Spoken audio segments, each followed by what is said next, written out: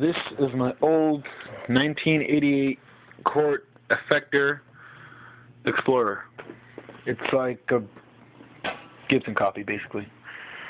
Um, I put in a Alexi EMG with the booster switch, and this has a Fernandes sustainer. And I also put a Floyd Rose in it for shits and gigs. These bronze ones are from the old system. It was like a crazy, crazy pickups that like they had effects built in, but I got rid of them. and uh, this is for the uh, sustainer right here. These two. This one here is for the sustain, and this one puts it in the pinch harmonic mode, which is awesome.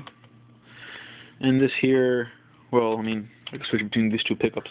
This one, volume, and another volume, and another volume. And this is the main volume. This is the fucking sustainer is still going. Turn this off.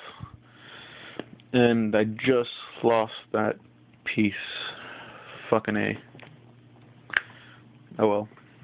Yeah, here we go. Been I've been planning to build this forever, and I finally did it.